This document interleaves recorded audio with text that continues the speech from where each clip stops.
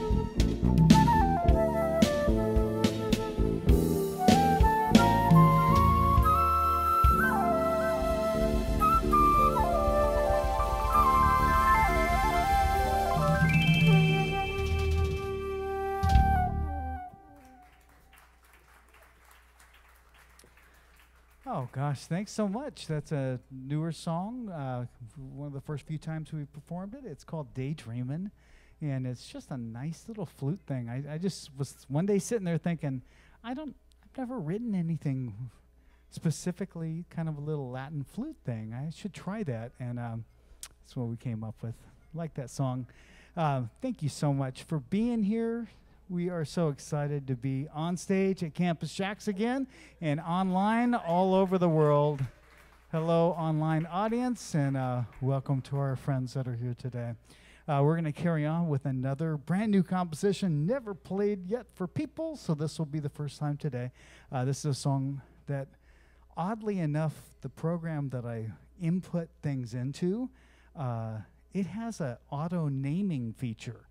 And I always have a horrible time naming songs, so I just went auto, and it told me that this song is called Needed Love. And I said, okay. And so it's the first time I've ever used the AI naming feature. This is a song that was named by the computer. So this is called Needed Love.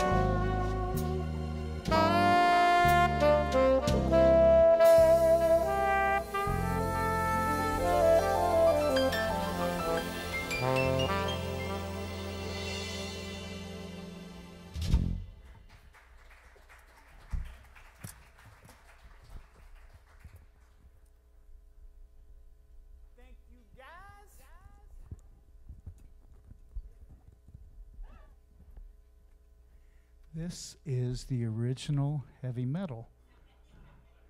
It came in tuba, brass form, and it's saxophone. It weighs way too much to stick around your neck.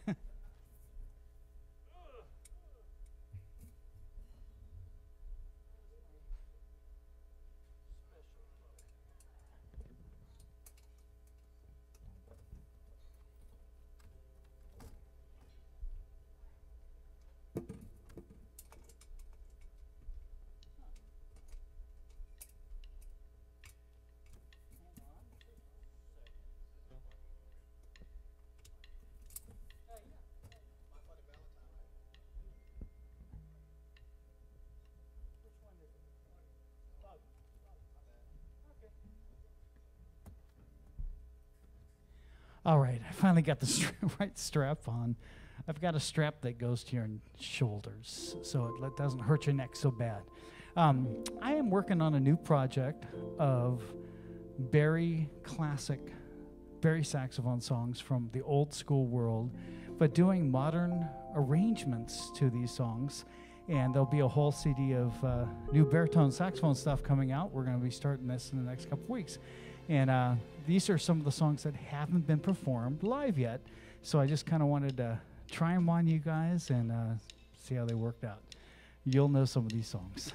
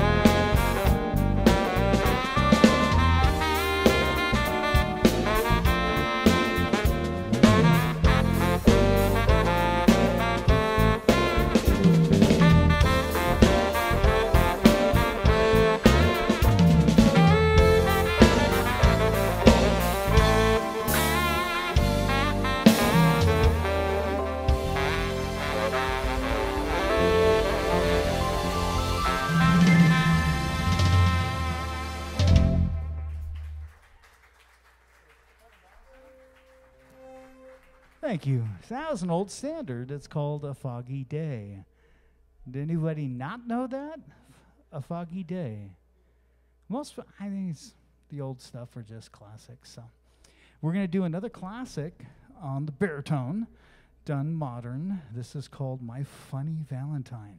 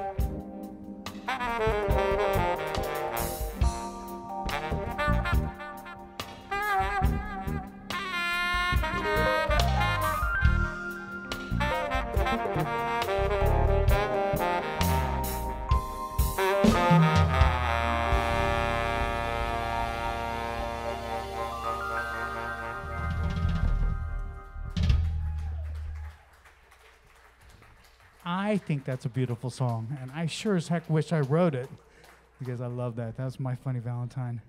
We're gonna do one more of these little bari saxophone songs because I got a bunch of them. Like I said, it's a whole project. It's gonna be really exciting when it comes together. This is what we've been dealing with every day, summertime.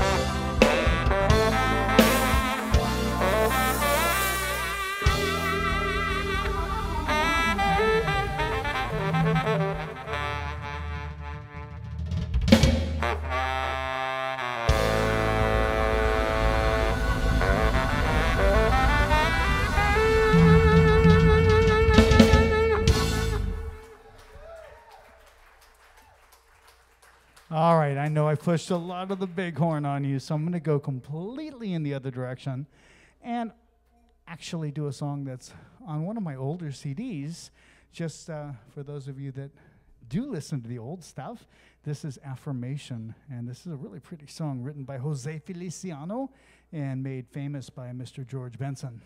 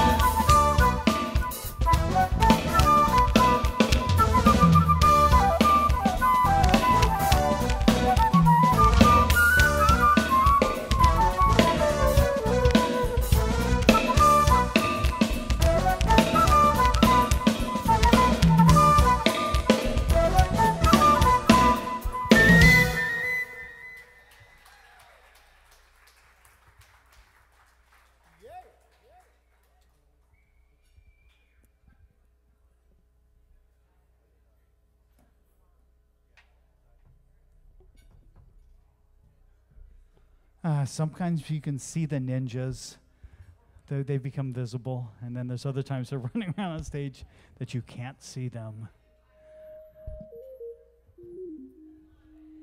So that was George Benson's Affirmation, Jose Feliciano. Beautiful old song.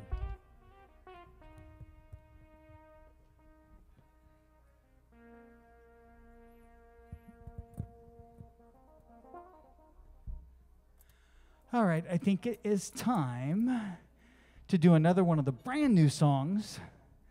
This is a song entitled, right now, it's entitled Too Many Notes because I thought that it had too many notes and my wife didn't. And I said, It's got too many notes. And then it just became too many notes. So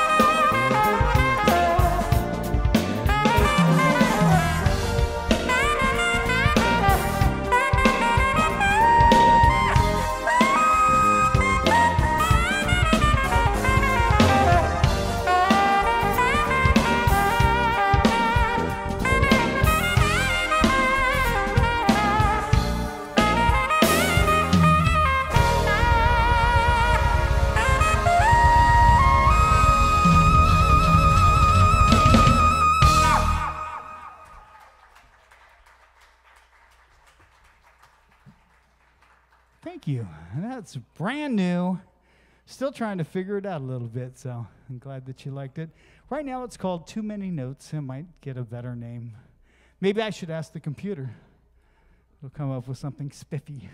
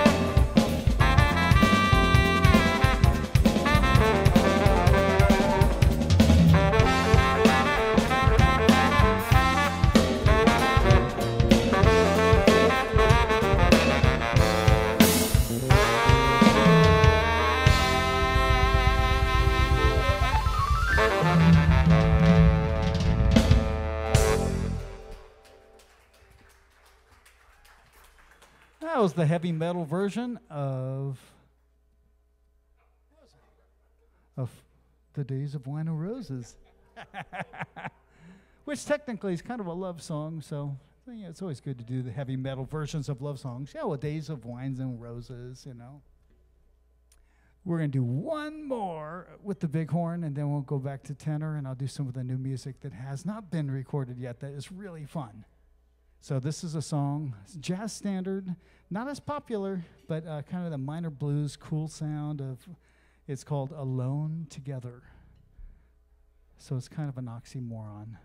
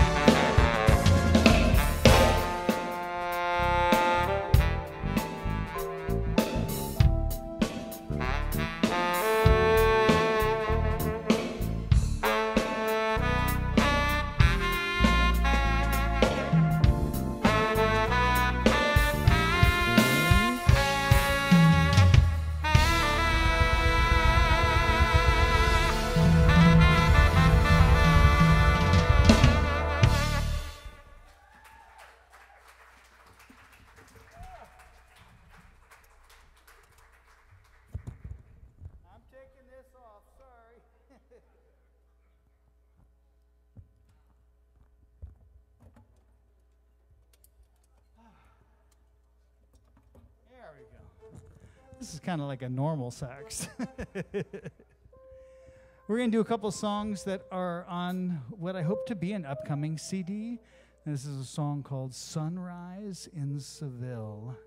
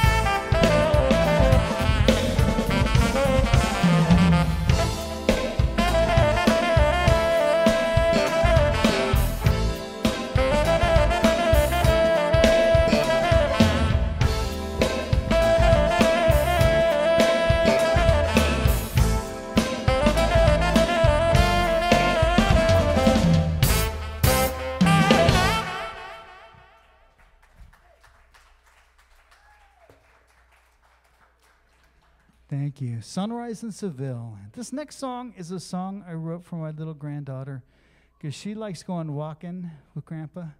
And she's just got this little stroll about her that's just kind of went, went, went, wah, wah. So I wrote a song kind of thinking of her walking with me. So this is called Anna's Song.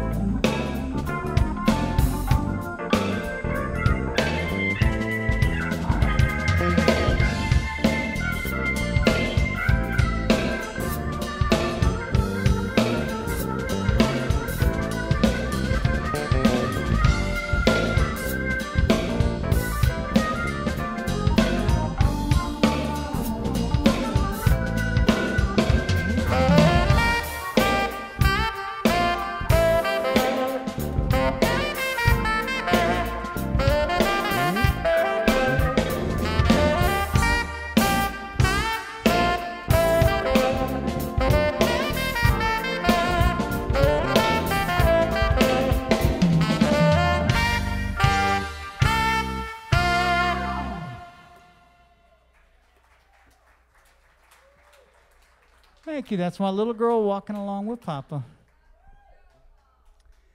And this next song is very special to me too, because this I wrote for my daughter, who went through a big transformation and kind of I didn't get to see her for a little while, and it was really an awkward time in life, and uh, she ended up turning into this beautiful thing that um, it's just hard to explain. That you'd look at her and see us hanging out, you'd never know that we had such issues for a while, but she's just so awesome. And uh, I found out that her name actually means butterfly, um, which uh, it's you know it's a loose meaning, but it's it's one of the meanings that's listed for Vanessa.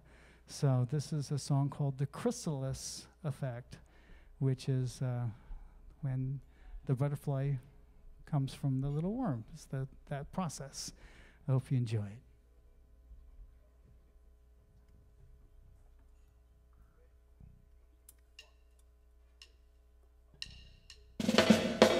Uh-huh.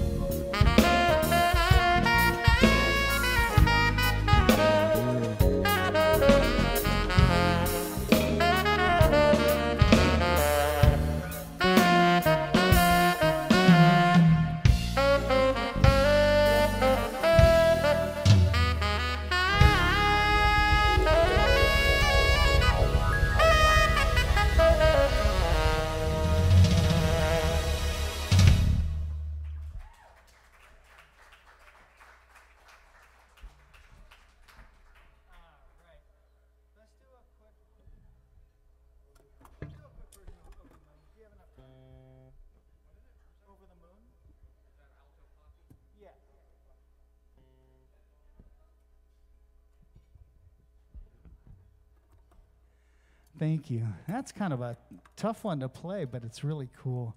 I like how it kind of starts off kind of complicated and then it just starts to go into a groove. And I kind of feel like that was my little girl. She started off a little complicated and then she just slid into a groove that's so cool. So this next song is called Over the Moon and it's just a feel good.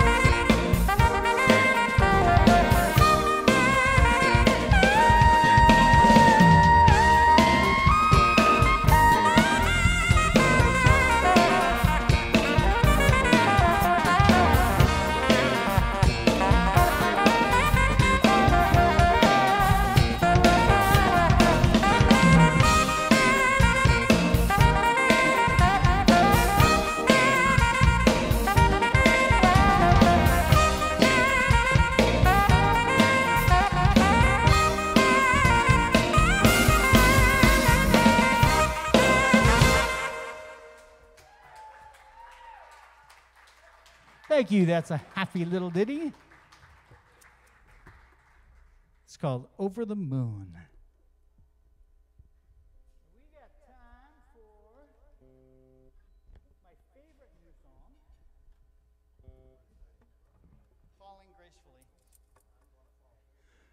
We're going to do a song. It's, it is my favorite new song. Um, it, the title came from the movie, uh, oh, what was it?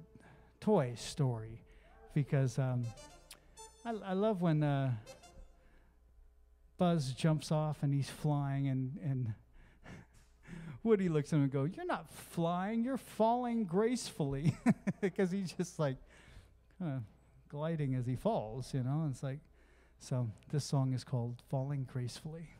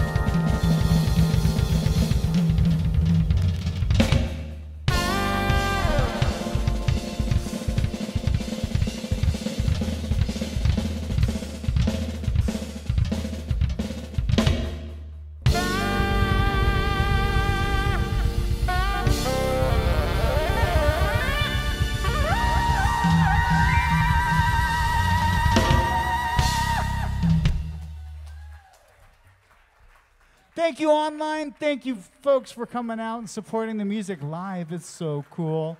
God bless you all. Those of you that got to drive, drive home safely, and hope to see you again real soon. Thank you.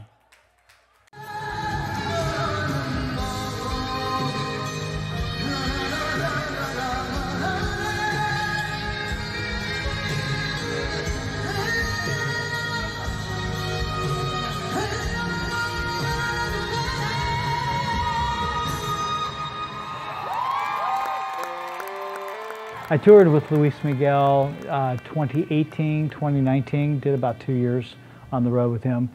It was great. I mean, he's like the, I think he's the biggest name in music in the Spanish-speaking countries, and uh, and to get to go and play with him in all these countries that just adore him was was a real treat, a real honor. You know, some of the venues were just huge were just huge, you know, like 20,000 people. And, and I would say that probably some of my favorite moments were where he'd be down there and looking up at me like, you know, like, like very affectionately and I'm up there playing. I loved when those moments would happen because uh, it was just, uh, you know, it was just, it was a great experience to have somebody of his renown, of his talent, uh, showing so much respect. And, uh, and literally just, you know, seeming as if he's just really liking what I'm doing. It's, that, that feels good. That feels really good. I'm working on a new project now and I've been doing some writing and the new music is really exciting because it's new. You know, so it, there's just, uh, there's ideas that uh, have been kicking around I, and I took the moment to write them down and, and kind of demonstrate them and uh, get some music for it and working with the guys and we're working on performance of these new songs. I really believe that after two years of working with Luis Miguel that uh, it's really made a better saxophone player out of me. Uh, the style of music that he sings is so passionate and I mean he's just so expressive when he sings and vocal expression is just a whole nother level that you, when a saxophone tries to emulate that, I feel like it just takes it a step above you know it's so it's it's there's been a lot of learning i, I feel like i got a good two-year little course of study and you know with uh, latin music and with with uh, one of mexico's finest singers probably mexico's finest singer and taking all of that into a new project is a very exciting thing. With the, the talent that we've got around here, collaboration has been an awesome thing. Uh, my good friend Marc Antoine uh, is an internationally acclaimed uh, uh, French guitarist, and he is. Uh, I brought all the music to him, and it's like he's somebody that you know, getting to work with him some, getting a chance to work with you know Mark Hugenberger, you know, who's an amazing keyboard player. Uh, there's so much talent. Collaborating with so many of the, I've got icons I've worked with in the past in smooth jazz, but I also have just such a wide base of friends that it's very fun introducing the smooth jazz world to them because they're just so talented. You know, so that's what I'm what I'm getting to do a lot of right now. That's what we'll be doing at this upcoming show, is is introducing some people, some players that um, they're not the regular every weekend smooth jazz guitar player that you see all the time or whatever. These are people that are in other worlds that I get to bring them together into a smooth jazz environment and share them there. It's going to be a, it's going to be a lot of fun doing these shows.